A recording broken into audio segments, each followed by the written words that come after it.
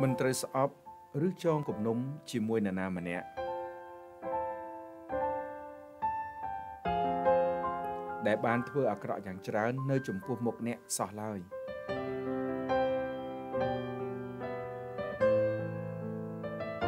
ត្រូវរស់នៅដោយបន្ទាបខ្លួន មិនថាអ្នកមានទ្រព្យសម្បត្តិច្រើនយ៉ាងណានោះទេត្រូវមានគំនិតវិជ្ជមានជានិច្ច ទោះបីអ្នកជួបប្រទះបញ្ហាធ្ងន់ធ្ងរក្នុងជីវិតក៏ដោយ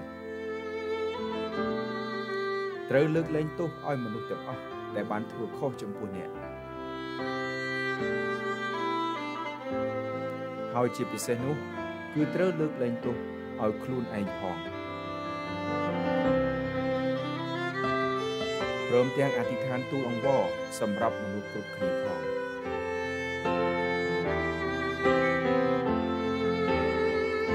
លាំងចិត្តប្រចាំថ្ងៃសូមជួយ Subscribe ដើម្បីបានវីដេអូថ្មីៗ